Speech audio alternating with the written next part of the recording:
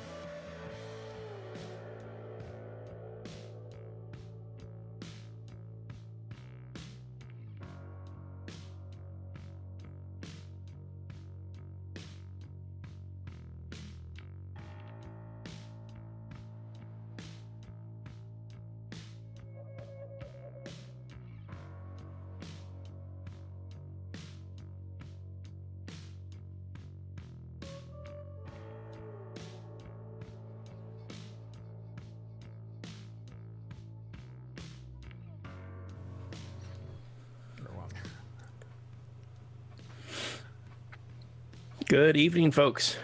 Welcome. We'll get started in a few minutes. We'll let some stragglers join us. So feel free to get a drink, get a slice of pizza, chat amongst yourselves, play the drop game. We will disable the drop game during the presentation so we don't get too distracted. Uh, with us this evening, we've got Jeremy Clark all the way from Washington State. So he was kind enough to answer the call when we were looking for virtual speakers. So very excited to have him talking about get funky delegates in C sharp. I'm your host John Calloway. Clayton Hunt is our co-host and technology extraordinaire who's eating pizza and drinking his beverage of choice as well. You told everybody to get pizza. How is the audio out there, chat? Everything sound good?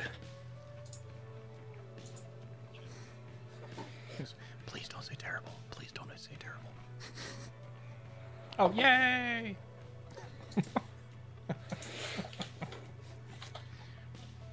Can't hear Clayton? Should be able to. Oh, was it because I was whispering?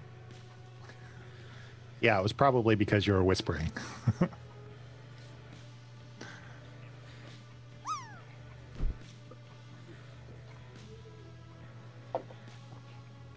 Clayton needs to be louder or everyone needs to be louder?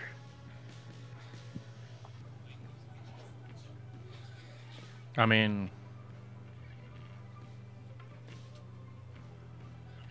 I should be I should be loud enough now.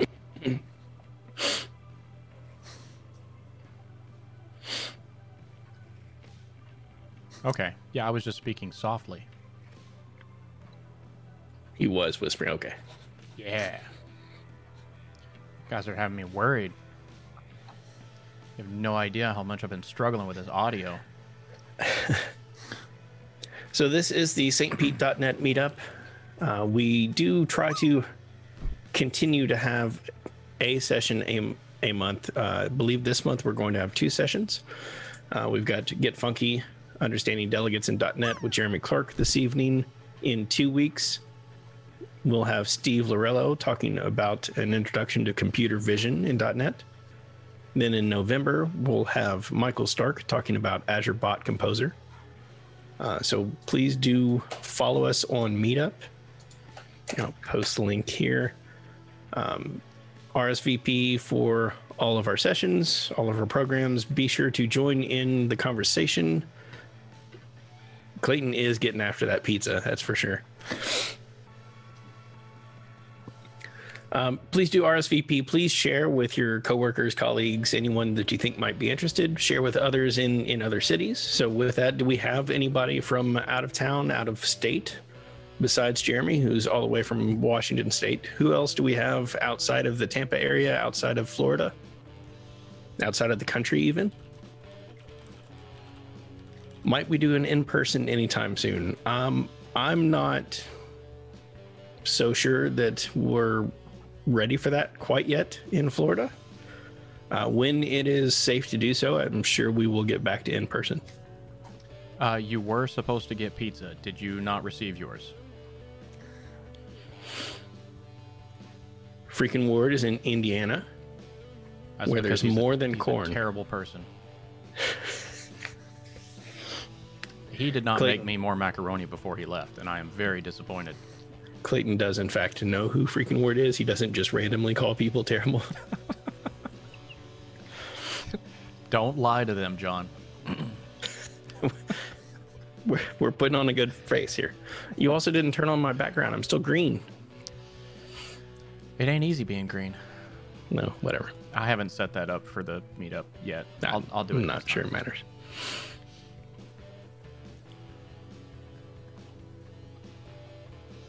Yeah, I think Clayton. No, yeah, freaking Ward was supposed to send out the pizza before he left.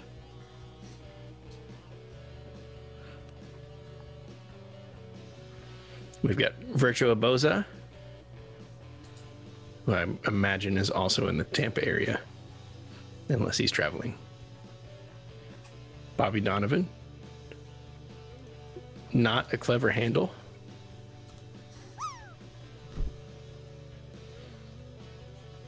Drop game. we'll, we'll give it a few more minutes. Virtua Boza had Nashville hot chicken. Chicka chicka bang bang. Is that local? Well, where? Chicken. Chicka Chicka Bang Bang. They're, they're in Tampa on Henderson. I don't get out much. We were talking about before going live uh, the the Google email saying that see where you've traveled for the past month, and it's like a couple of blocks.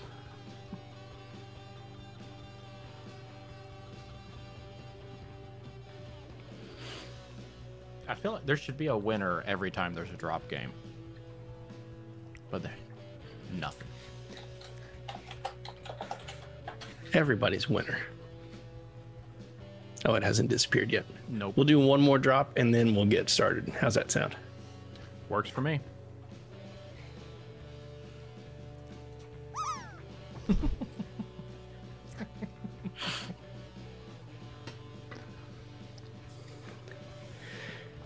Everyone's enjoying watching Clayton eat their pizza because he didn't have it delivered to everybody else.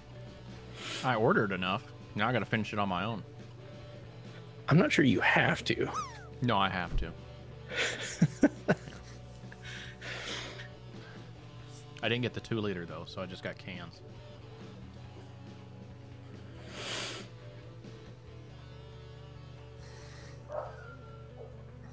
Oh, I hear dogs. Yeah, that's not a good sign. gonna gonna cross my fingers for a second.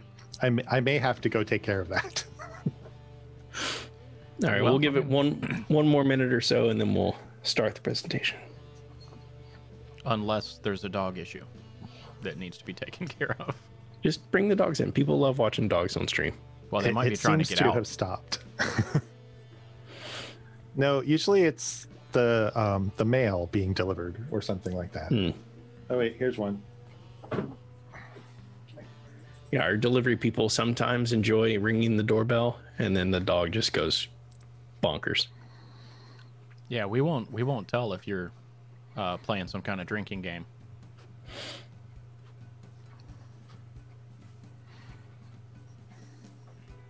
Four miles, thirty minute commute. Oi. That's that's no fun. What's the dog's name? This is Penny Hi, Penny. trying to keep her quiet this evening. Maybe she can answer some questions later on. We got another Yes. 30 miles, four minute commute. How's that happen? That's either a fast car. Uh, it's a dial in. You just or a bullet train, something. Okay, let's go ahead and get started then. Uh, so, as I said, I'm John Calloway, your host, Clayton Hunt, co host, And with us this evening, Jeremy Clark going to talk about getting funky delegates in C sharp. Uh, please do join us on meetup.com. Uh, join the group there, join the discussion. We have a Facebook Facebook group. We also have a Twitter account that you can follow and get updates there. And of course, we are live streaming on Twitch and also YouTube. Or do we back up to YouTube now? I've forgotten something. We also Uh, have we back up to YouTube. yeah, Hello. so we also have the presentation to YouTube. So if you uh, miss it here, then you can also back up there. Uh, thank you, Virtual Boza. Following. Oh, I missed it. All right. So with that, here's Jeremy. Cool. Uh, thank you. And uh, thanks to John and Clayton for inviting me. And there goes Penny again. She's she's really going to be quiet this evening. I'm sure of it. okay, maybe I'm not so sure of it. Anyway, um, so I am in Washington State. So I'm I'm way across the country on the other side, about 40 miles from Canada. So um, it's a bit blustery and I'm sure a lot cooler here than it is there. So, wow, my dog sounds like she's in distress. I'm going to have to bring her in and just put her on camera. Uh, so, anyway, I'm going to be talking about delegates today. And it's one of those things that was difficult for me to learn as a developer and became really useful to me. And so uh, I always feel it's my responsibility to kind of share the the things that I've learned because there's some things that are uh, a little difficult, especially when you're first getting started with them. And the, uh, all the code I'm showing tonight, and I'm going to be showing mostly code because slides don't make me happy. That's uh, available from my website, jeremybytes.com. And if you go out there, you'll find a link to a GitHub repo that has all of the code in it. And then if you want to follow me on Twitter, I'm at Jeremy Bytes as well. And uh, I'm going to try to keep an eye on the chat, but I'm going to rely on John and Clayton to keep me honest if I'm missing any questions. But please feel free to put questions in. Uh, that's way better than me just talking to my camera. So, uh, with that, let's look at the two slides that I actually have. Uh, and really, kind of the first thing that you run into when you're learning about delegates is first finding out what they are. Because uh, when we look at what a definition is for delegate, it's a type that defines a method signature. So in C sharp, we're used to types. Types are everywhere. We've got classes and you know uh, generic lists and strings and integers and all kinds of types, uh, which could be classes or structs or other things. What's a little different about a delegate is it's a type that defines a method signature. So it's really just the signature of a method. So it'll be the parameters and the return types. And that's it. There's no uh, body to it. And that's something we can assign to later on. So once you wrap your head around that, it starts to make a little more sense. And we're going to go to code to see that in action because that's the only way I can make sense of it. But before going to code, just want to kind of talk about a few reasons why delegates are important in my world, especially. Uh, the first thing is for decoupling code. So the example that I show tonight, we're actually going to basically take some responsibility that we might normally stick in a class and give it to somebody else, make it somebody else's responsibility. And then if we need to change that in the future or we want to extend it, it's actually a lot easier. Uh, another thing that's really cool about delegates is we can use methods as parameters for other methods. And once you start getting used to this, it's uh, really interesting. And I should have warned you, delegates are kind of a gateway to functional programming because using parameters, uh, methods as parameters to other methods is really, uh, in the functional programming world, they would refer to that as a higher order function that takes uh, a function as a parameter. So uh, once you start getting used to that and it starts to look interesting, you kind of find yourself moving towards functional style programming. Another thing that's really cool in delegates in C Sharp is something known as multicasting. And what that means is that we can have a single delegate variable and assign multiple methods to it. And then when you invoke the delegate, meaning, hey, I want to run this code, it will run everything that's attached to it. And we've actually, we, I'll say we, you have probably seen that as event handlers. So when you hook up an event handler, I usually say, hey, plus equals add my own event. Uh, or my own event handler, I should say. And then when the event fires, all of those methods run. So an event is just a special kind of delegate. So multicasting is pretty cool in that regard. And then callbacks and event handlers, those are delegates. An event handler is just a special kind of delegate. And then one of my favorite things in C Sharp is LINQ, Language Integrated Query. And that uses delegates all over the place. Wow, I'm, is everyone else hearing that growling that's coming from my house? Okay, good. She'll be okay, I promise. okay. So the good news is this is all the slides I have. And so we can go to code. And uh, I'm a fan of code. It's how I think. So that's what we're going to do here tonight. Uh, again, if you go to my website, you can find a link to a GitHub repo. And this is a WPF project because I do desktop programming primarily. This is a .NET Core 3.1 project.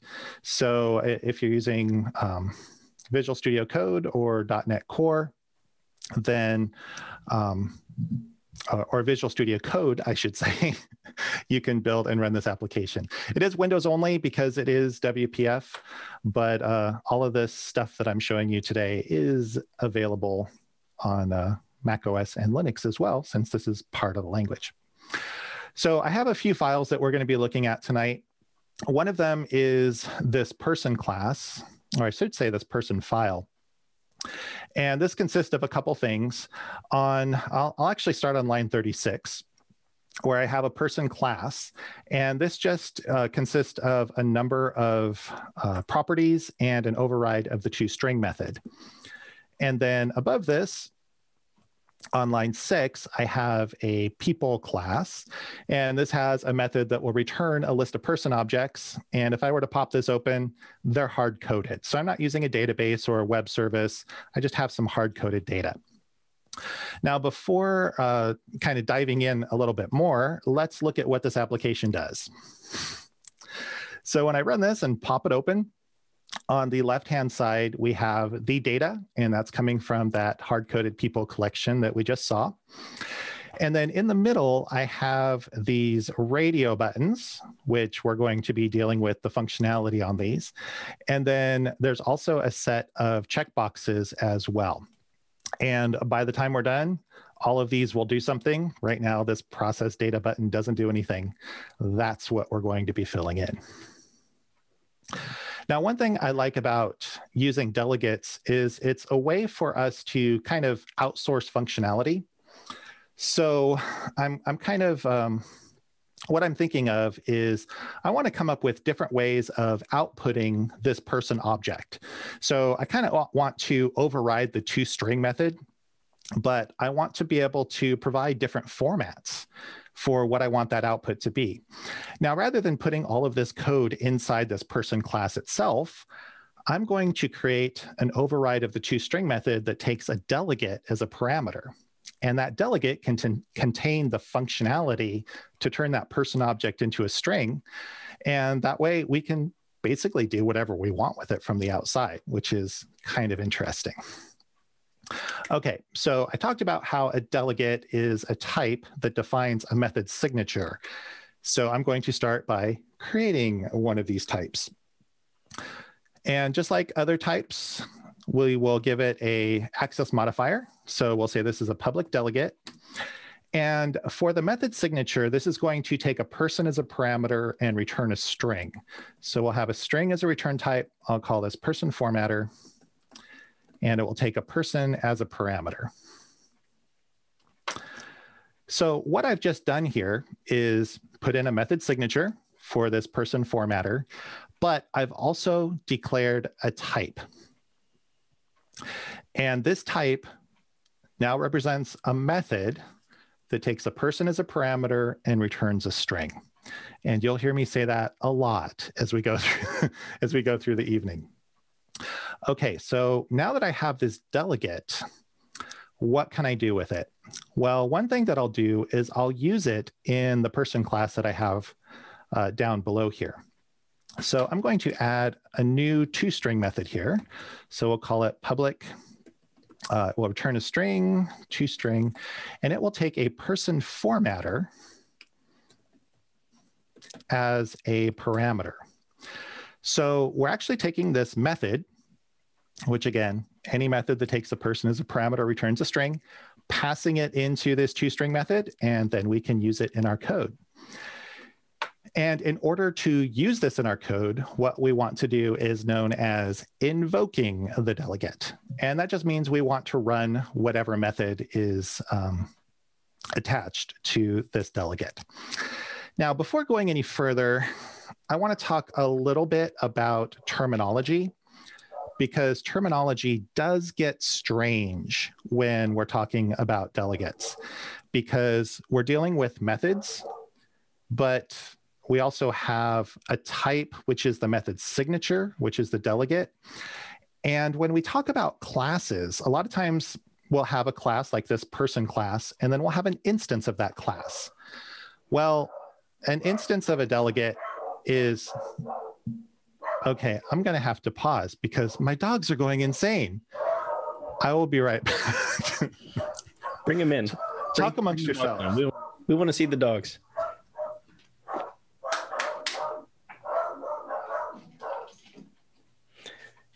Any questions for Jeremy yet? Just be sure to add them to chat.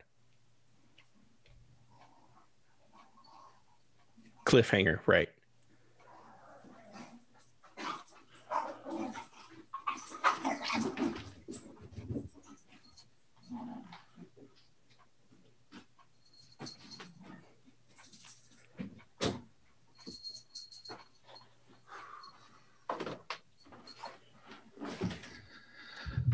Serenity now. Any questions so far? Yeah, I know I really haven't gotten to the point where we can ask questions yet. okay, so the terminology gets weird. So that's just a warning as we go forward.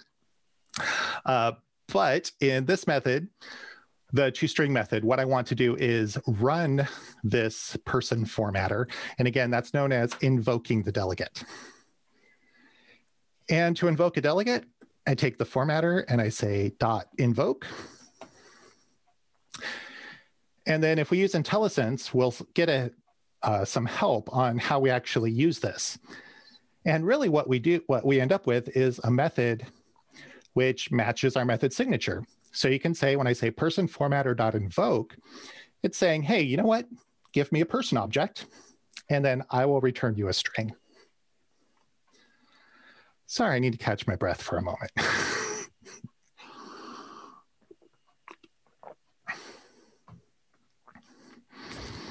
you know, when I actually visit user groups in person, I don't have that problem. okay, so to invoke this delegate, I need to pass it a person parameter. Now, since I'm in a person class, I'm just going to pass it this. So I'll say, I want you to operate on whatever this instance is. And then since this invoke returns a string and my toString needs to return a string, I can just return the results that are coming back from here. And so now when I run this toString method and pass it in uh, a delegate, it will run that delegate and give me the string that comes out of it.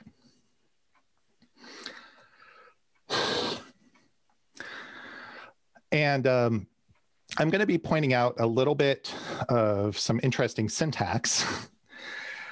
a lot of times we won't see this dot invoke syntax used because another way we can do this is to really treat this formatter delegate that we have like a method. So I can put formatter and then put uh, parentheses around it and uh, or around the parameters and call it just like any other method. Now, I point out the dot invoke syntax because there's some places where you kind of have to use that other syntax. So uh, we'll see that a little bit later. Okay, so what I've just done is I've created a point where we can inject our own functionality into this person class. And so what I'm going to do is flip over to the form and actually do this. Now, for simplicity's sake, I'm going to be doing all of the code inside the code behind of the form. I generally don't code this way, uh, but in order to be able to focus on delegates, I'm going to keep this um, project as I'll say the least amount of code possible so that we don't get lost in business rules or the MVVM design pattern or any kind of stuff like that. Okay, so I have this process data button underscore click event handler, and that's hooked up to the button that's on our screen.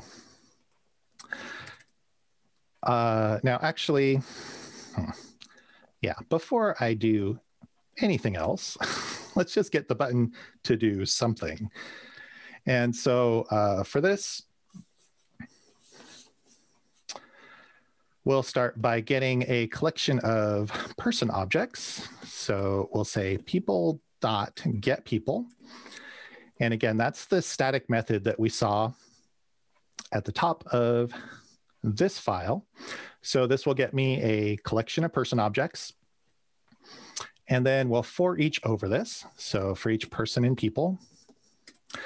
And then you can see on line 23, I have an add to list method where I can put something into the output box. So we'll say person dot toString. And for now, I'm just going to use the default value. So this is the default for toString. not using the delegate yet, just to make sure things are basically working.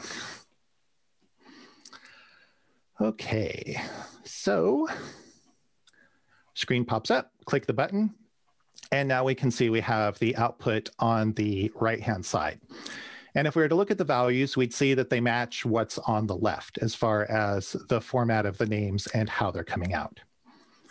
Now, what if I want to change that output? I don't want to use the default. Well, I can create a method that matches the signature of my delegate and use that instead. So I'll create a private method that returns a string and we'll call this output uh, family name. And it will take a person as a parameter. And we'll just say person, uh, return person dot family name. And uh, actually, we'll just leave it at that. And now what I can do, if I look at the possible parameters for the toString method, I see there's the default one that we had before. But there is also an overload that takes the person formatter delegate type. And so I can put this output family name and pass it as a parameter to the toString method. Now, one thing to notice here, I'm just uh, stating the name of the method, output family name. I'm not putting the parentheses. I'm not giving it a parameter. So I'm not actually calling the method. I'm passing the method to the toString. And when we do this and run our application, now we see we just get the family name in the output box. So that's kind of mildly interesting, but um, you know, I, am not really seeing too much value yet. Well, let's take the next step on this. Since we can have, uh, since we have this delegate type, we can create variables that are of this type. So at the top of my class, we'll create a variable which is of type person formatter. And we'll call this format uh, formatter. And then down here in our code, we'll just assign formatter equal to output family name and again, just assigning the name of the method itself, not actually calling it. And then we can pass the formatter variable to, uh, wow, I just can't type, can I? Lowercase, try that, try that. Fingers crossed. Oh, typed it wrong up there too. I got a trifecta going there on typos. Okay, so now that they all match, uh, basically, what I did was I just added an intermediate variable. And as we'll see, intermediate variables can be pretty useful. And I, I know you've known me for 20 minutes, but just to show you, it still does the same thing. It still does the same thing. Okay, so this is nice. And what it allows me to do is really extend this person class without having to modify the code itself. So uh, this actually fits into some of the solid principles. You might have heard of the open closed principle, where a class is open for extension but closed for modification. This is actually an example of that. I can extend this class by saying, okay, well, you can output yourself um, however you want, basically, without having to change the code of the class itself. Now, obviously, I changed the code of the class to make that possible. But now, from now on, if I say, oh, you know what, I need a different format to output this in, I don't have to change the class itself. That has now been externalized. So we can extend it with further with uh, additional output types without having to change the class. So that's pretty cool. Uh, again, solid principles, single responsibility principle falls into this too, where we say, you know, a, a block of code should really only have one reason to change. And that can be translated as it should do one thing and do it really well. Well, what's the purpose of this person class? Well, not much, quite honestly.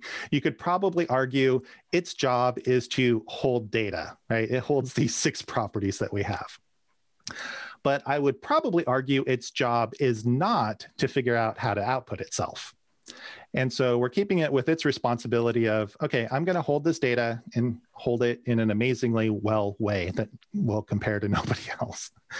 And then it will be up to someone else to take care of this other functionality. So just kind of starting with, hey, really all we did was use a method as a parameter and we get these benefits. And that sounds kind of cool. And we'll actually see those more once we hook up those radio buttons. Now, what we've used so far is a custom delegate type.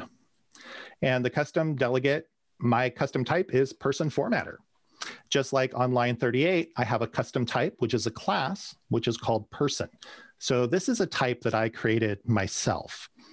Now, a lot of times we won't be using a custom delegate type. We'll use one that's built into the .NET framework.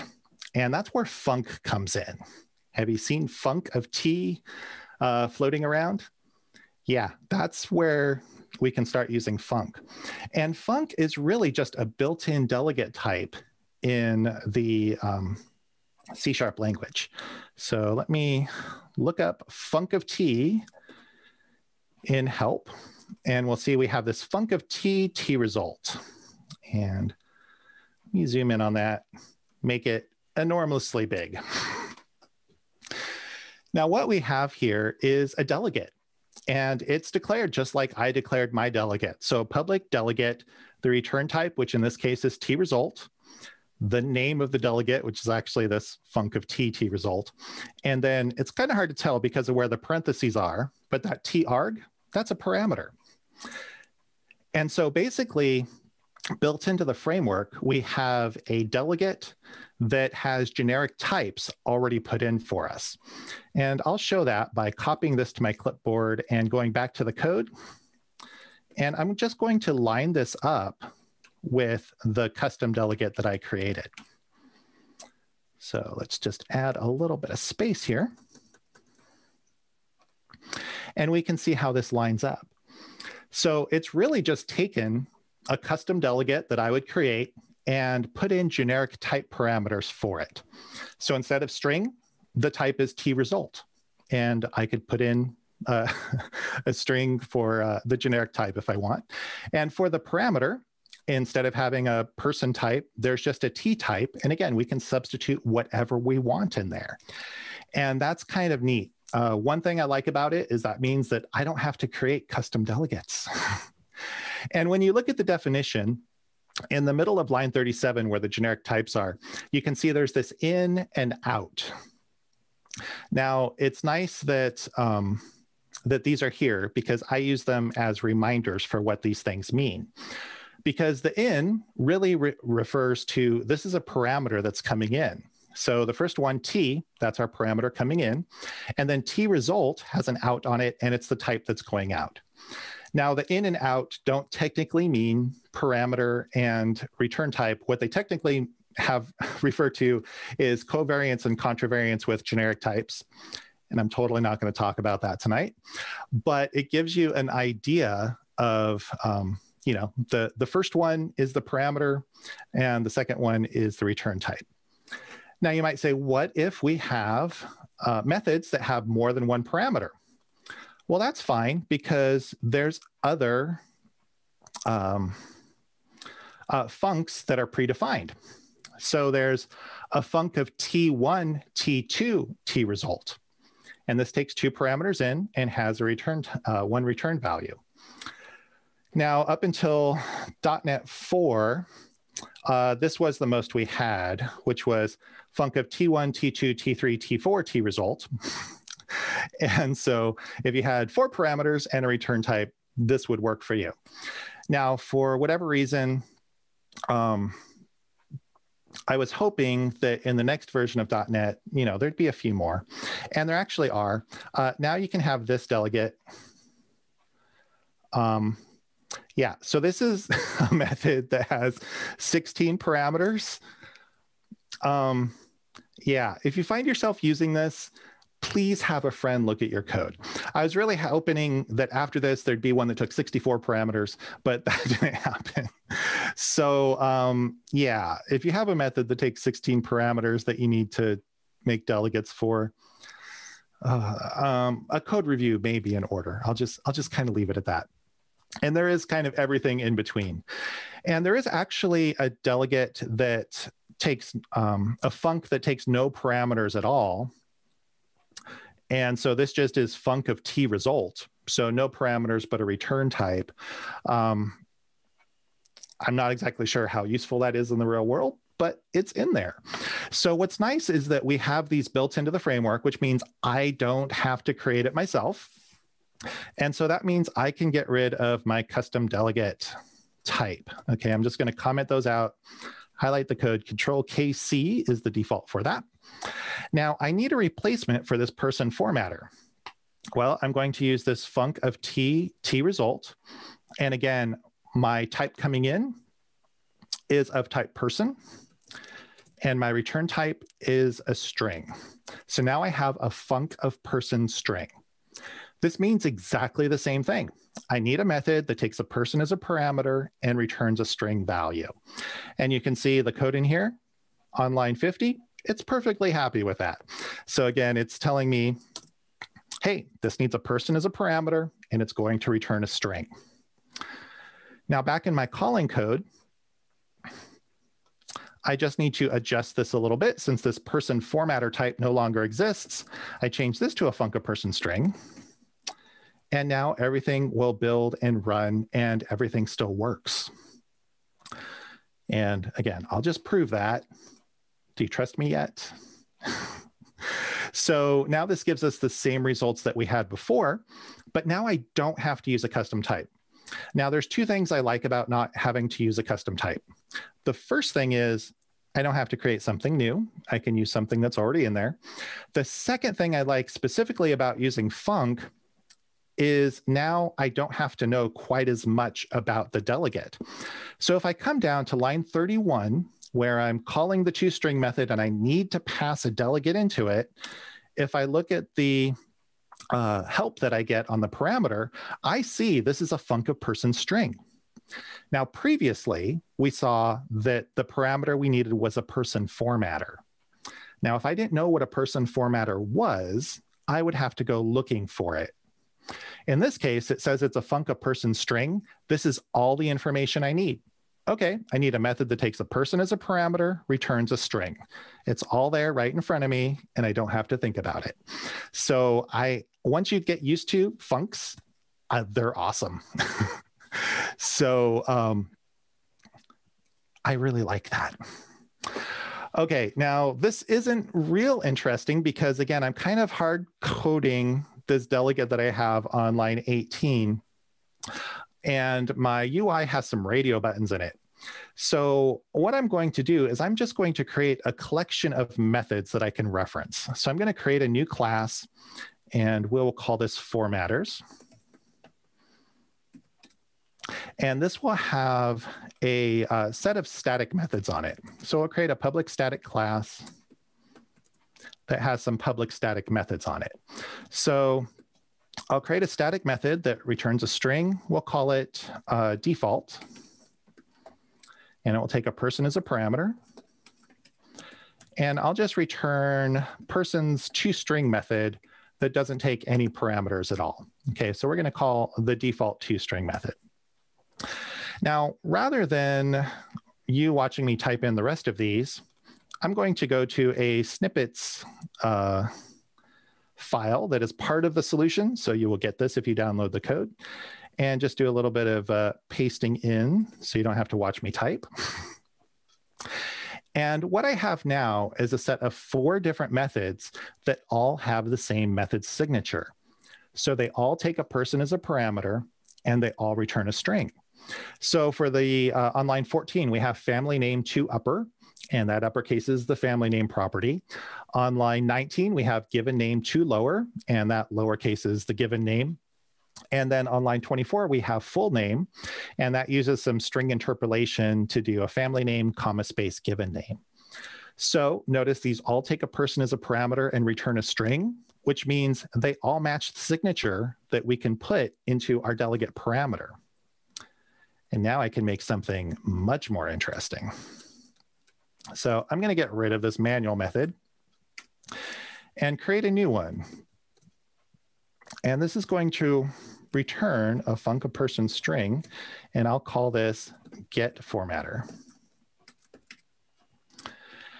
And based on my UI, uh, so I would say, like, if the default string button is checked, then I will return formatters, formatters dot default. So just like we can have delegates as parameters in our methods, we can have parameters as return values for our methods. And so what I can do is based on the UI, I can pick out different methods. And again, I won't make you watch me type this in. I'm going to do a little bit of copy and paste from my snippets file. And this will just check the radio buttons that we have in the UI and return a different delegate. So on the first one, we'll look for the default string button and return the dot default method. Look, second one looks for the family name button, returns the family name to upper. The given name string button returns the given name to lower, and the full name string button returns the full name. And then I have to have this null at the bottom just to make Visual Studio happy. But because we have radio buttons, the null should never happen. Okay, now one more thing I have to do before we run it is change this call on line 40.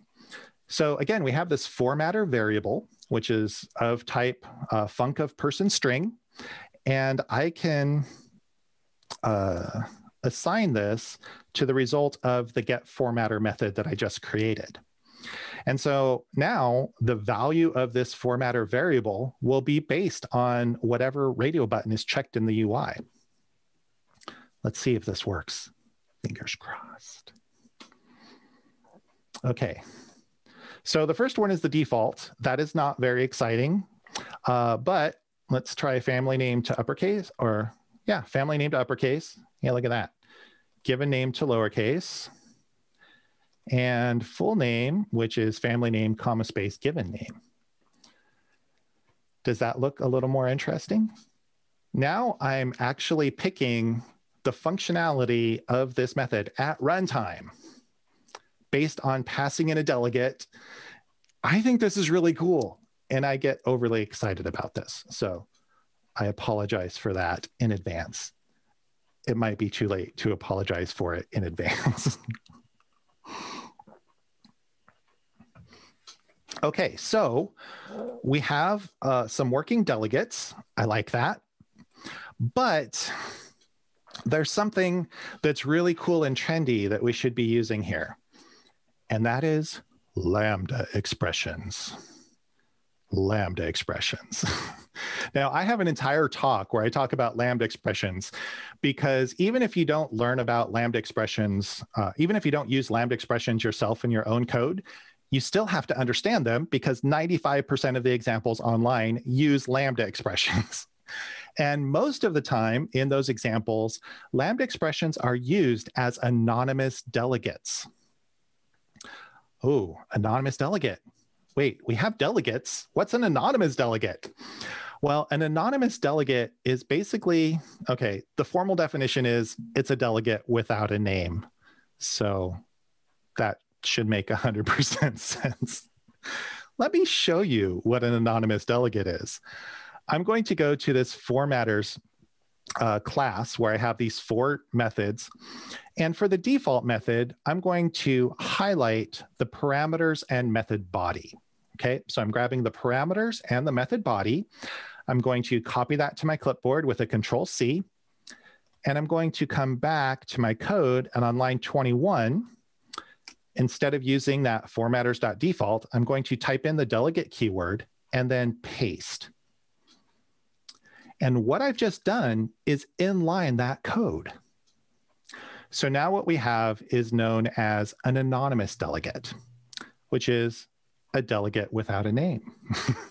now, previously, again, this is where terminology gets confusing because our delegate was called default, but default is also the name of the method.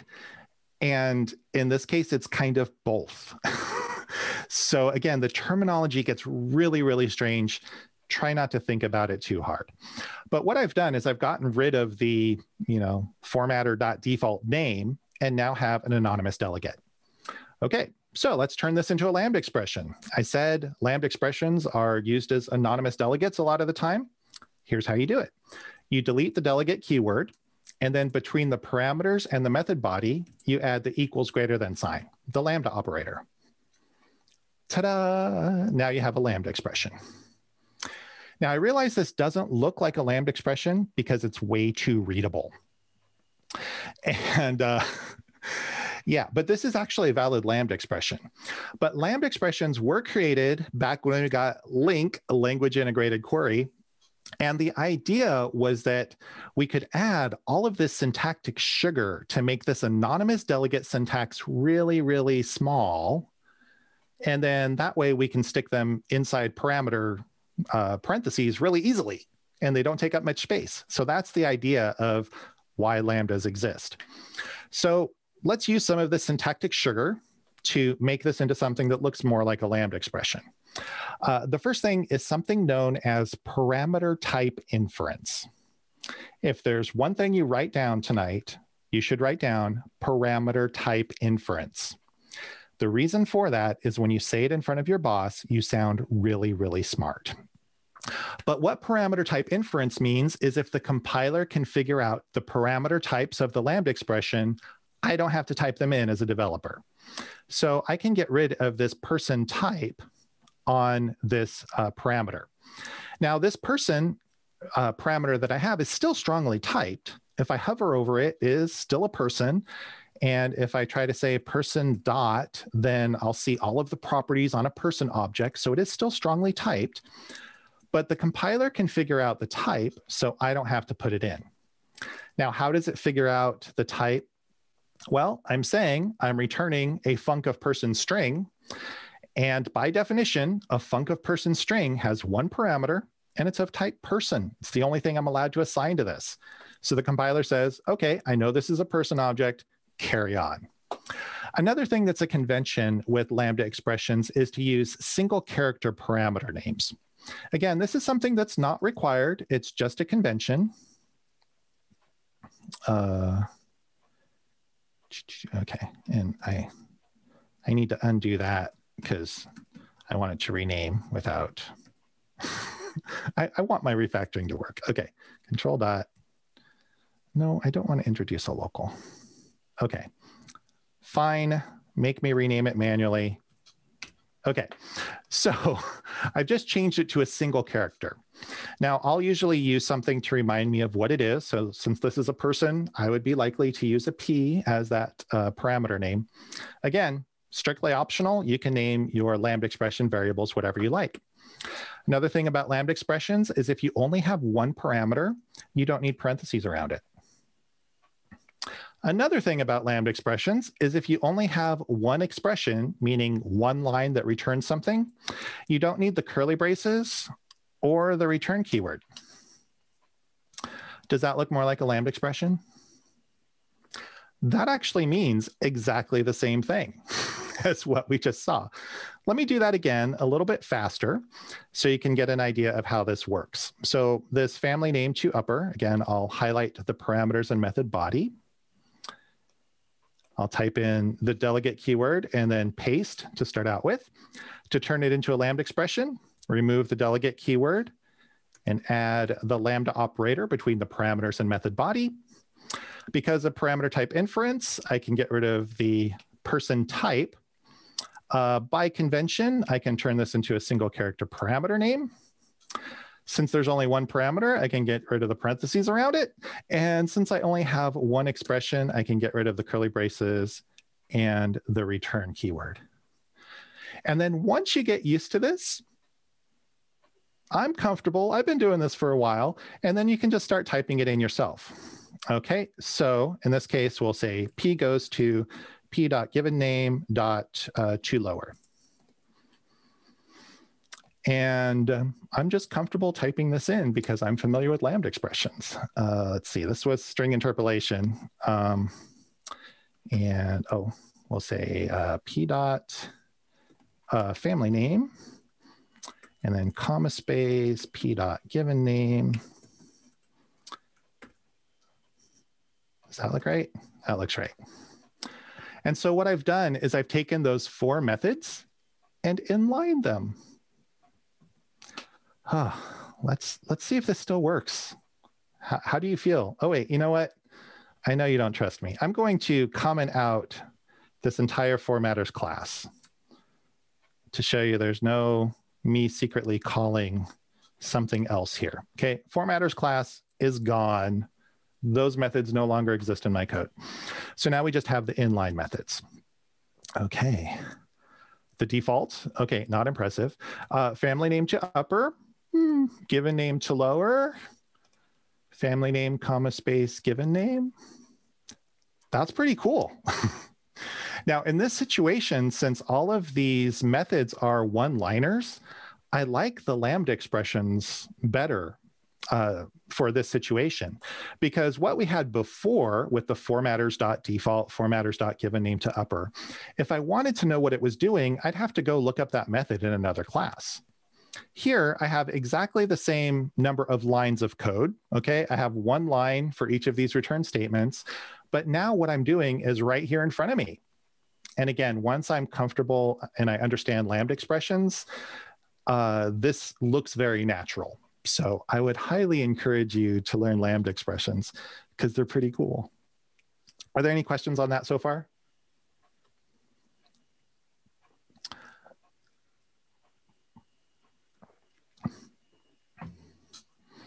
Yes, no, maybe. Okay, I'll take that as a move forward because because we've got other cool stuff to show. Um, let me go back to the UI and we'll. Oh, that's cool. It decided to come up on a different monitor. In addition to the string handling radio buttons that I have, I also have some checkboxes for some actions. And let me just talk about what I want to do here. Okay, so for average rating, uh, you'll notice that each of these items has a star rating. So John Koenig has six out of 10 stars. Tarangalila has eight out of 10 stars. So what I want to do is I want to go through all of the items in the list and calculate the average of the rating field and put it in my output box. Uh, for the second one, earliest start date, I want to go through all of the items in the list, find the one that has the earliest start date chronologically, put that into the output box. For best commander, I want to go through all of the items in the list, find the one that has the highest rating value, and I want to put that commander's name into a message box that pops up. And then for first letters, this one's a little arbitrary. I want to go through all of the items in the list, take the first letter of the family name, for each item and output it into the output box. Okay. Now, these are also checkboxes. So I can do multiples of these at a time, as opposed to the radio buttons where I was just picking one thing at a time. Okay. How do we do this? Well, thinking about the type of delegate I need to create here, uh, the first thing is I'm not really returning something. When I was looking at the string handling, again, takes a person as a parameter and returns a string. Okay, so that delegate returns a string that we can then put into the output box. But instead, these actions are now performing some kind of work. So I don't want them to actually uh, return a value. I want them to do the work. I want them to output to the output box. I want them to pop up a message box. That's what I want the delegates to do. So in this case, func doesn't really make sense because func returns a value. Well, if we go back to help, we'll see that func has a uh, sibling, which is action of t. And the action of t delegate looks a lot like the func, but the difference is it returns void. So in this case, I have action of t, and in this case, t is a parameter, but it returns void, so it doesn't return a value. And just like with func, you can have an action that takes 16 parameters and returns void. Um, yeah, please don't do this. and there is also an action that takes no parameters and doesn't return anything. So, um, you know, all kinds of permutations that are built in. Okay, so let's think about um, if I were to create a variable to represent this, what it what would it look like? Well, we'll say private action. Now, what would this take as a parameter? Well, when I was talking about averaging the values, finding the best commander, what I started out by saying is we're going to go through all of the items in the list to find out what we want to do. So in this case, I want to have the list of person as a parameter for this particular method. Okay, this is where things get fun because if I say I want an action with a list of person as a parameter, then um, I end up with nested generic types, which is fun. and uh, let me just go to my notes to see what I named this. We call I called this processor. That's a good name for this. And I actually need to bring in a using statement for list. So uh, I'll control dot on that. Let Visual Studio bring in that using statement for me. And so now what I've created is a delegate that represents a method that takes a list of person as a parameter and returns void. Okay. Are you excited to use this? I'm excited to use this. Unfortunately, I'm too excited to use this because before I use this, I need to do a little bit of housekeeping because I only want this to happen when the various uh, UI elements are expanded. So uh, for what we've written so far, I'll say if the string expander is expanded, then we'll do the code that I wrote previously. And then if the action expander, that's the UI element, is expanded, then uh, we'll uh, do something else. okay. So let's do this something else. I'll go ahead and collapse our get formatter method because I want to be able to see the type that we have at the top on line 13. Okay, now for this one, rather than returning a value, which I might want to do later on, but for now, I want to assign to this processor variable. So my initial method will return void, and we'll call this assign action. And then based on what we have in, um, well, before we do the UI, uh, let's just say processor plus equals, and then we'll say P goes to add to list. So we put something in the output list. I'm not going to expect you to follow the lambda expressions I'm creating right now. Uh, uh, P dot, uh, come on. P dot oh, why am I not getting IntelliSense here? Average, there we go. Uh, R goes to R dot rating. There we go. Okay, my IntelliSense is not uh, keeping up with me here. Dot string. There we go. Okay, that looks good. Okay, so, so what I'm using is I'm using a LINQ method called average and passing it in the rating property. So we'll take the average of all of the ratings, and then we're going to output that to a string, since that'll be a number, and then we'll add it to the list. Okay, so before hooking up the radio buttons, let's just do a hard-coded one, see how this works. Okay, so I will need to collapse and expand to get to, oh, one other thing. I need to actually call this assign action method. this thing that said do something else, yeah, I need to do something. okay, so we'll call assign action. And uh, actually, that's all we need to do because, uh, again, this code has the add to list in it, the, uh, the Lambda expression we created. Okay, so let's collapse and expand and click the button. Oh, and there's nothing there. What did I do wrong? Uh, oh. So I'm assigning the action to the delegate, but I'm not invoking it. There was something else I needed to do. I need my processor variable at the top. And uh, this needs a list of person. And fortunately, we have a, a person collection already on line 47. Okay, so invoking the delegate is helpful if you want to actually do something. Okay, so assign action will assign the action to our delegate field that we have on the class. And then on line 59, we'll actually invoke that delegate to run it. And uh, now it should do something. Whenever I do this talk, I always miss two or three steps along the way. Okay, look, we have data. Woohoo! Okay, I like to see that. Uh, what happens if we click the button again? Uh, okay, now I have two. Click the button, now I have three. Okay, Jeremy, you must be really bad at clearing out list boxes. Um, no, actually, if you notice on line 45 here, every time I click the button, I clear the list box. So why is this happening? Well, I just showed you multicast delegates and you probably weren't paying attention. Let me come back up here to the assign action. And on line 40, you'll notice I used a plus equals when I was assigning to the delegate.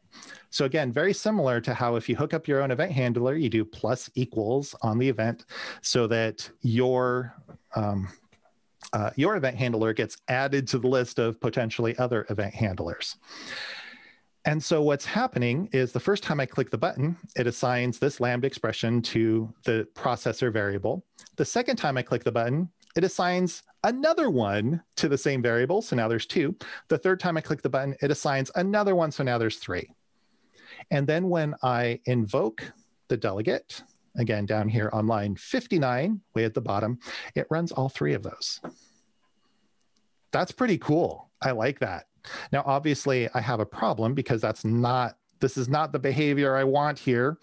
Uh, and a way we can fix this is at the top of this assignment, I can just set processor equal to null, and that will just remove everything that's assigned to it. So now each time I click the button, it will clear out the processor variable assign the one lambda expression that we have to it, the one delegate. And so if I click it multiple times, we'll always just have one in there. Okay, now checkboxes. I want to hook up these checkboxes. Now, again, lucky for you, uh, you don't have to watch me type this because this one would be really tedious. I have some checkboxes uh, or some code to check the checkboxes already in place. So I'm going to keep the null in there at the top and then uh, check uh, based on the checkboxes.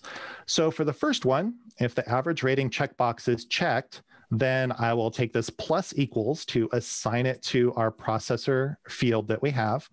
And this does what I had earlier. So add to list, it runs an average on the rating property.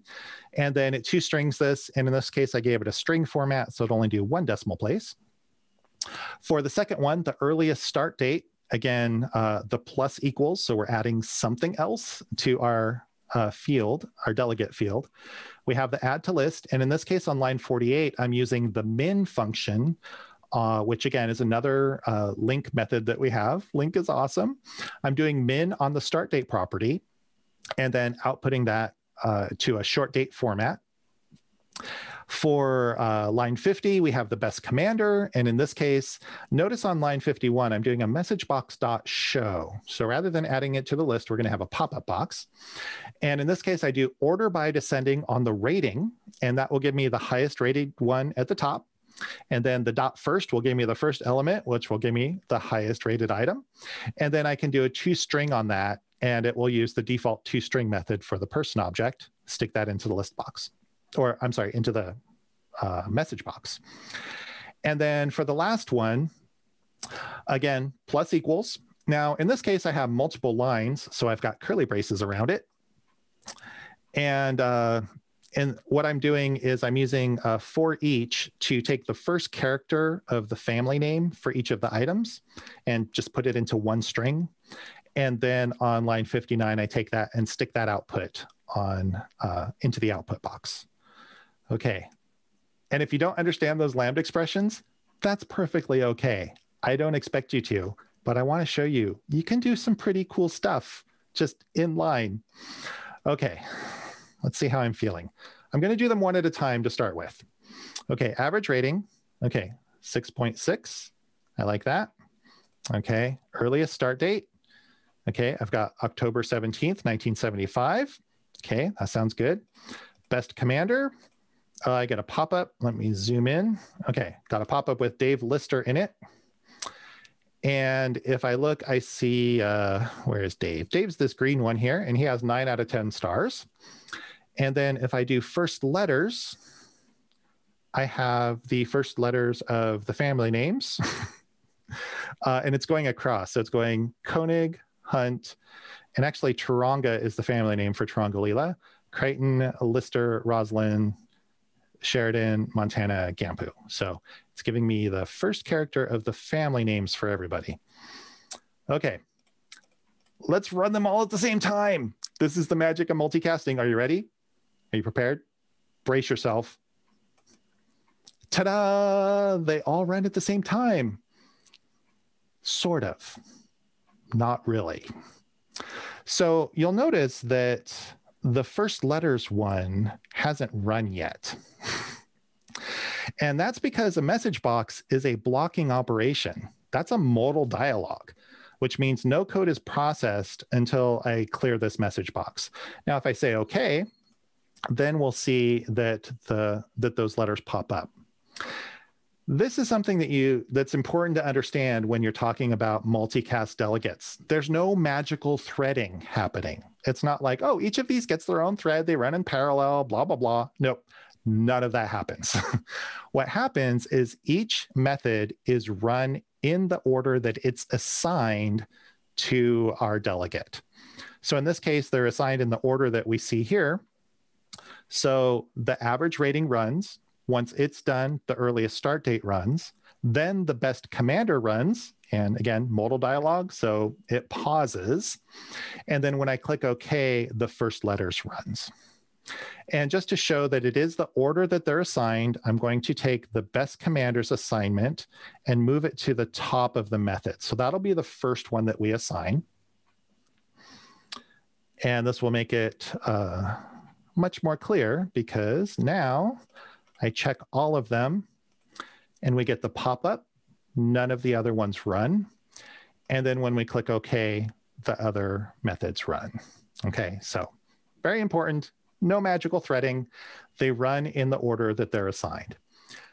The side effect of this is that if one of these methods throws an exception, the other methods will not run. Yeah, that's it, it may be okay. It may not be okay, depending on what your scenario is. something to be aware of. Now, if you want to um, learn about how to deal with exceptions to say, okay, well, I want to make sure everything has a chance to run, even if one of them throws an exception. I have some blog articles. So um, if you go and follow the links to the GitHub project, again, you can get there from, let me just show you. That'll be the easiest thing to do. Uh, so again, jeremybytes.com. And we're here, uh, stpete.net. But if you go to the presentation tab, then this is going to stay here. So it'll scroll down as I do more presentations, but it, that link is not going away. So if we click on that, there is actually a set of articles here that you can look at. But then you can also go to the GitHub repo, which actually has those same set of articles in the README. and then we can see here I have an article for exceptions in multicast delegates and more delegate exception handling. If you want to, again, depending on what you need to do, there's different techniques that you can use for that. So uh, now you have homework. okay, now there's one other thing I want to show. What happens if we don't have anything assigned at all? Well, I get an exception and it's everyone's favorite exception, right? The null reference exception, object reference not set to an instance of an object. Uh, so yes, this is something to be aware of, particularly if you're doing this multicasting like we have here. Uh, let's stop debugging. And what's happening in this situation is at the top of the assign action method on line 40, I'm setting our processor field to null. So I'm clearing it out. And because none of the checkboxes are checked, nothing gets assigned. So when we're down here on line 79, I'm trying to invoke a null delegate. And that's where we get the null reference exception. Now, uh, there is actually a fairly easy fix to this, but it doesn't work with this syntax. I have to go back to the dot invoke syntax that we saw earlier. And what we're going to use is we're going to use uh, the null coalescing operator. So I can say processor question mark dot invoke. And now what happens is if processor is null, it's going to stop. It's not going to call dot invoke on it. It'll just say, okay, it's null. I'm not going to do anything. And we can actually see that. Okay, and we'll just check nothing. Okay, no exceptions. That's good. I can still click uh, average rating, so it still works. But if nothing is assigned, no exceptions. That's good.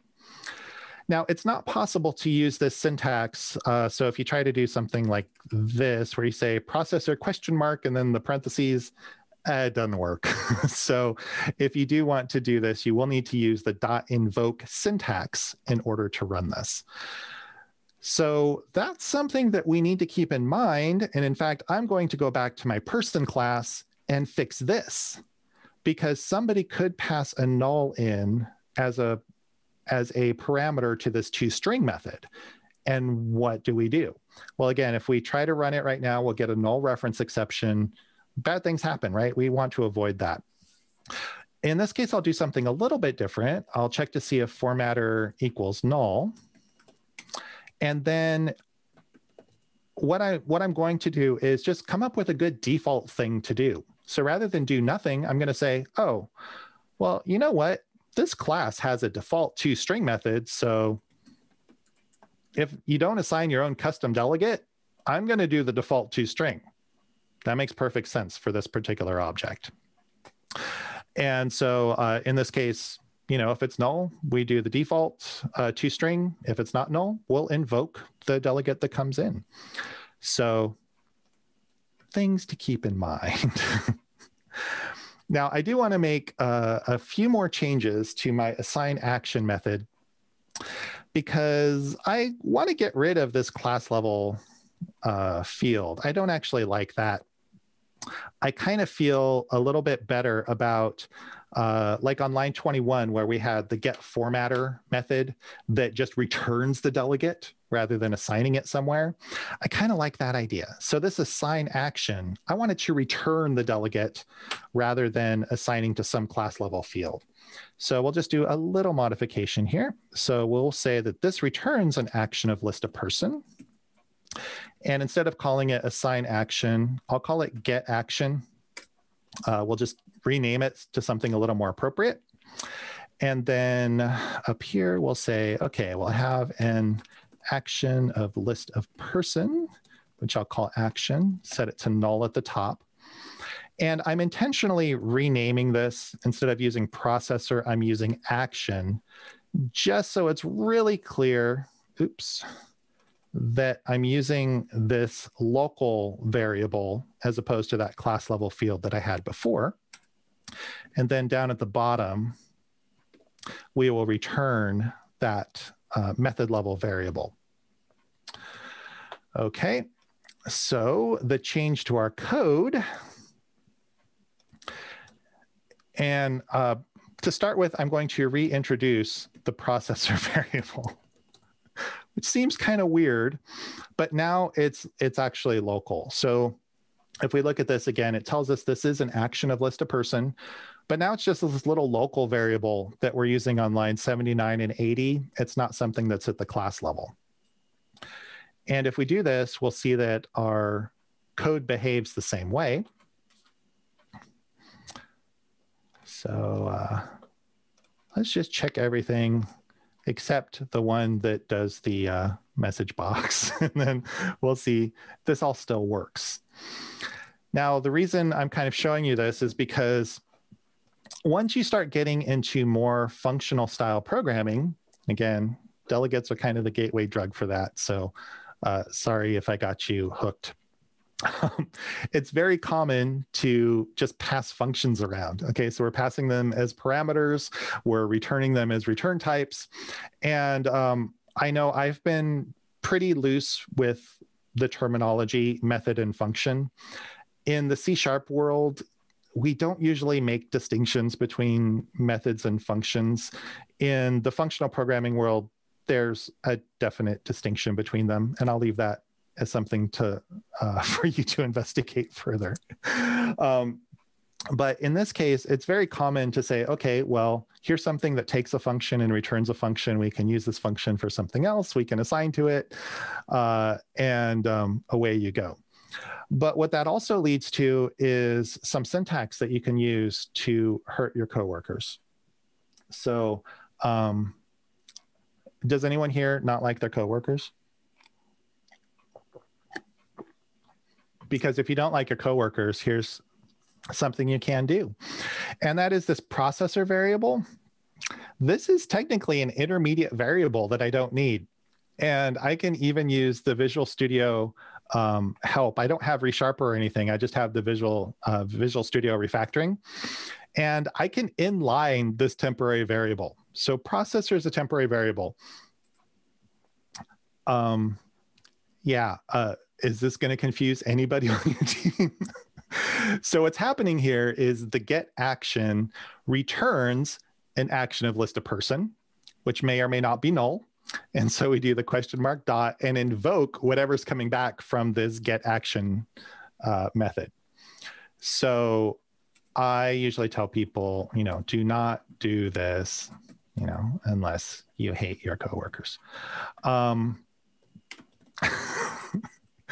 but uh, you can do it. And I really like LINQ, in case I haven't said that enough here. I actually have a talk that I do that shows how to use the uh, fluent syntax for LINQ and LINQ is all about if you look at the the method signatures they're all about Func you know there's Func of t uh, uh, TT result everywhere in LINQ. And so you really have to get used to this idea of delegates and lambda expressions. And basically, what I think of is whenever I see a Func, like in a method signature, I kind of treat it as a big flashing sign that says, put your lambda expression here. So uh, that's the way I treat it. So in LINQ, uh, I love just dotting the methods together. Okay, so I have a local collection. I say, hey, dot where this condition, dot order by this condition, do a dot then by as a subsort, and then maybe a dot select so that I can do a transformation on the object. So uh, dotting methods together gets uh, kind of interesting once you get used to it. But I, I won't say the syntax on line 81 is evil but what I will say is you definitely need to have uh, developers in your organization that are very comfortable with delegates and using them as return types and so forth. Oh, wow. That is actually my whirlwind tour of delegates that I have for you. Let's see uh, what topics I kind of hit. Uh, decoupling code so actually we actually saw how we could take um, the uh, string formatting functionality outside of the person object and we could inject it through um, through a delegate. And uh, we saw how we could use methods as parameters uh, to other methods and we could use lambda expressions as well. Actually let me just show you that because it's kind of interesting. So on line 75 again we have this uh, toString what if I wanted to just put something custom in here and I didn't want to go through this whole separate variable, uh, this formatter field and this get formatter method? What if I just wanted to hard code something? Well, I could just say P goes to P dot uh, rating. Um, actually, let's just do a dollar sign quote. Let's do this. P dot rating and then uh, P dot start date like that. And I can actually put this in line without having to call something else. And again, lambda expressions, they're made to be really small and stick in there. What is that going to do? Hey, that actually worked. so, you know, kind of once you get used to this and you get used to lambda expressions and everything else, it's actually really, really cool. I'm overly excited. I realize that. Um, we saw multicasting where you can have one delegate variable that has multiple methods assigned to it and they all get run when you invoke that delegate. So that's pretty cool. Uh, callbacks and event handlers, I talked about those, but we didn't exactly see those uh, this evening. And then LINQ language integrated query, I actually used a lot of LINQ the average, the min, uh, some of the other methods that I was using, that's all LINQ. And it's all really, really cool. Uh, now, before I leave you, I'll just um, talk about another of the articles that I have uh, on the uh, source materials. And that is this last one that says named delegates compared to anonymous delegates there are some differences between using a named delegate and an anonymous delegate.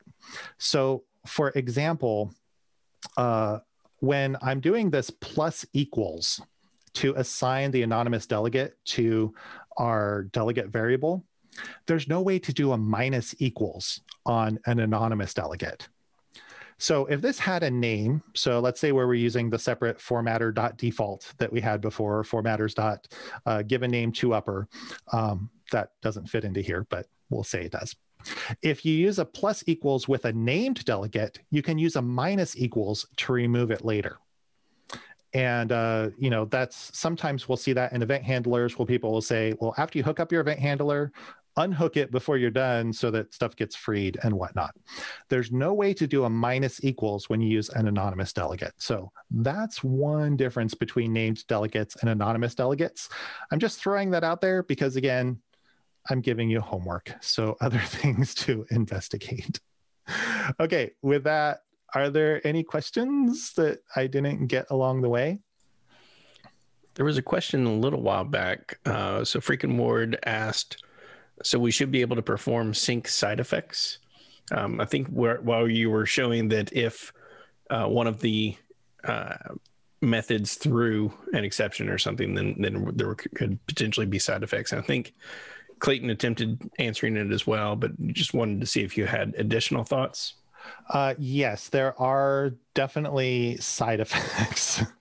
um, I would say uh, f- definitely go through those articles that I mentioned about the the dele- the exception handling with delegates because that will give you an idea of how to deal with it. So the short version is if I have uh, an invoke, let's uh, say that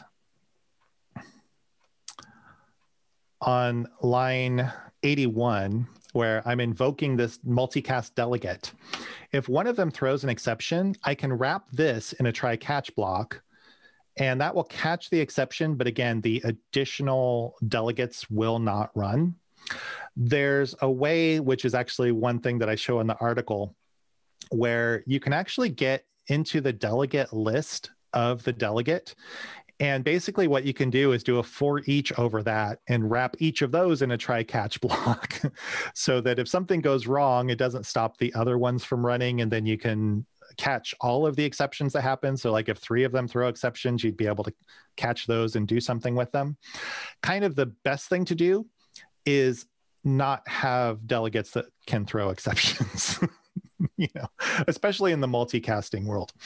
Um, and actually, there's one other thing I want to say about multicasting, and that is multicasting only makes sense for actions, meaning something that returns void. Now, the reason for that is let's say I have a multicast delegate that returns something. Okay. Let's say I took the, the string formatting and I said, you know what, this is going to be multicasting now. So all of these methods are going to run and they're all going to return a string. What do you get back when you invoke a multicast delegate?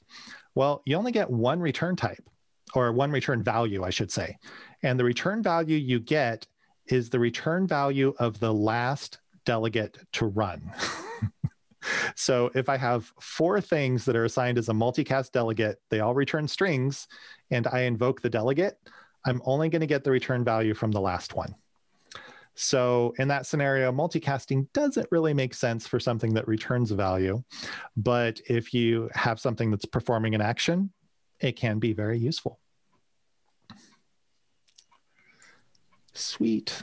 And Virtuo Boza asks um, when your talk on in and out would be for covariance versus contravariance. Okay, so I haven't written that talk yet.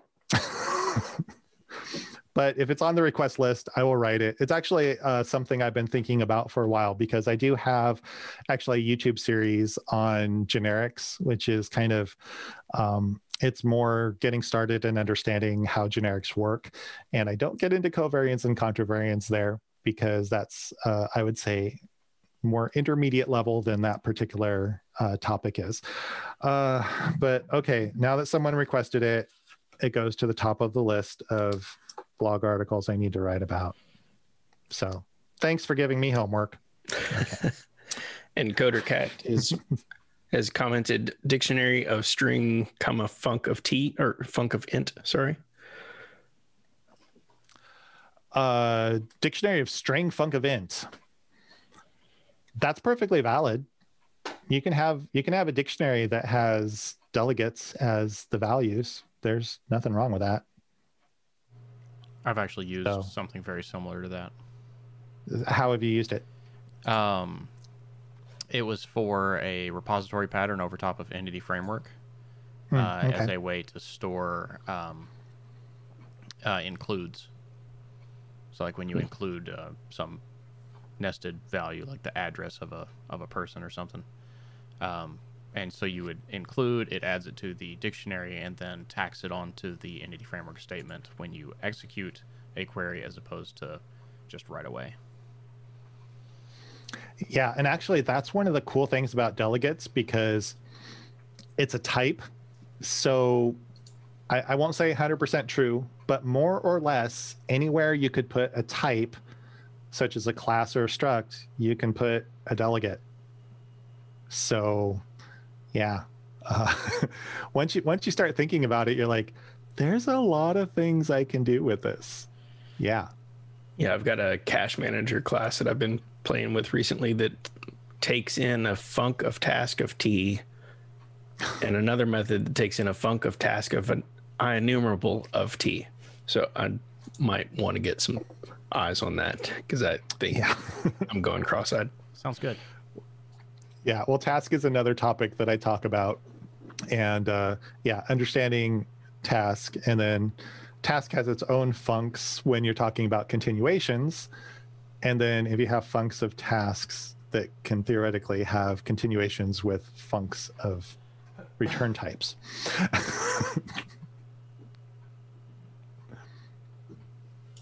All right. Any more questions for Jeremy? I know that it's still what is it even still daylight in Washington State these right now? It is actually still daylight because it's almost 5:30 here. Um, we're getting sunset around 6:30ish now, I think. It's weird because again, I I've spent most of my life in Southern California, which is closer to where you are as far as latitude is concerned. Um, I'm 1,200 miles north, and so we go from like you know, sunset at 10 p.m. to sunset at like 4 p.m., depending on what time of year it is. So, uh, yeah. All right. And Virtua Boza is asking any reason to prefer and prefer invoking with parentheses versus invoke parentheses. I think you had shown an example, but is yeah. there one There's, a reason to prefer one over the other?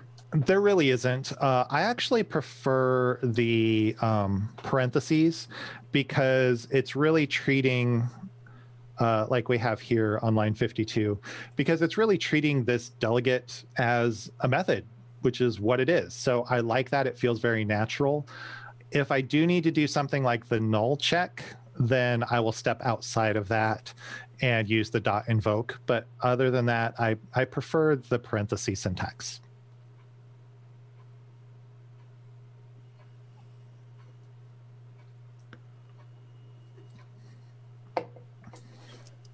All right. Any more questions? Um, we'll we'll this video will remain up on Twitch. I think we're in, in the two week mark, uh, and then Twitch will take it down. But we are backing up to YouTube.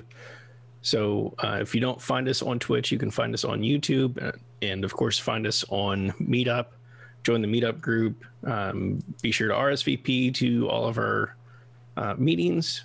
Follow us on Twitter. Follow us on YouTube. Join us on Facebook groups uh, with that, we are going to be back in two weeks talking about something. Uh, so we've got an, an extra special meet- meeting in October since we had a wealth of offerings to have different events. So in two weeks from today, on Tuesday, October 27th, 7 p.m. Eastern, we're going to have Steve Lorello talk about an introduction to computer vision and .NET. And then next month, Tuesday, November 10th, we're going to have Michael Stark talking about Azure Bot Composer.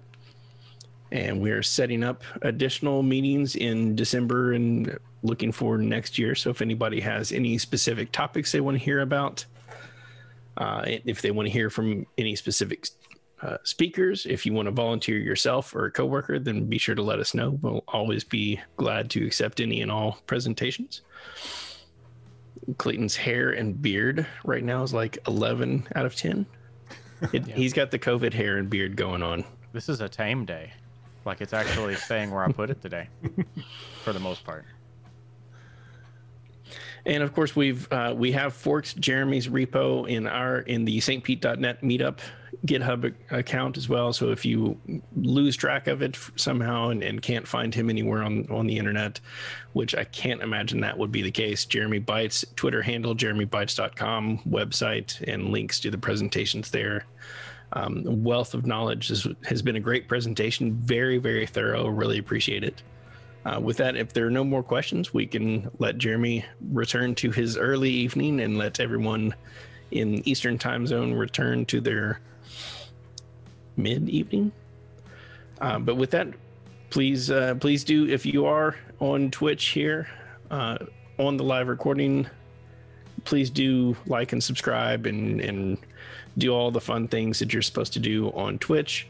If you have an Amazon Prime account, you can subscribe to us and get notified when when we're coming on and it's free for you and we get special Twitch credit or something. I don't. We're still relatively new to Twitch, but with that, we do appreciate everyone joining and all the great questions and collaboration and and reaching out and uh, communicating and being involved. Um, very, very big thanks to Jeremy. Really appreciate you taking the time to speak with us.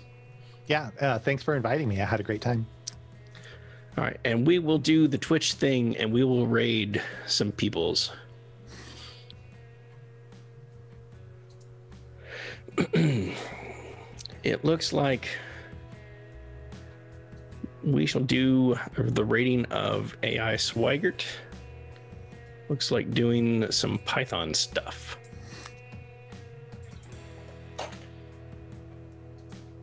So with that, thanks everybody. Appreciate it.